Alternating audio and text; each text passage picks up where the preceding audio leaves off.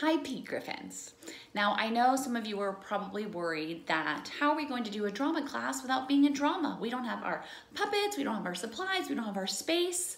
Well, we are going to make it work and we are going to use stuff that you have around the house, which is kind of awesome because a good actor has a good imagination. We're gonna be using our imagination to create.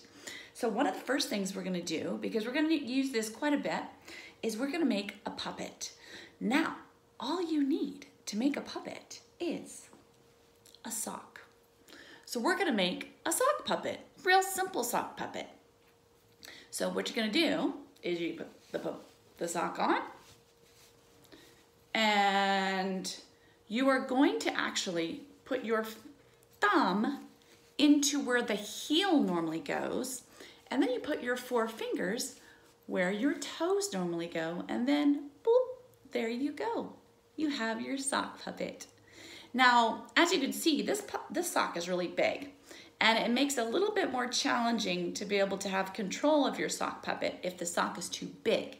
So my suggestion is try to find a sock that is a little closer to your foot size. Don't use your dad's huge sock. So I actually have another sock that's a little bit smaller. And you'll see I have a little bit more control. So here I go. I put my thumb where the heel is, then I put my finger here where the toes go, kind of pull it down, and boop, there we go.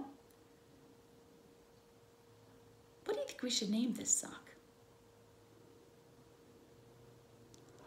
It's kind of cute, isn't it?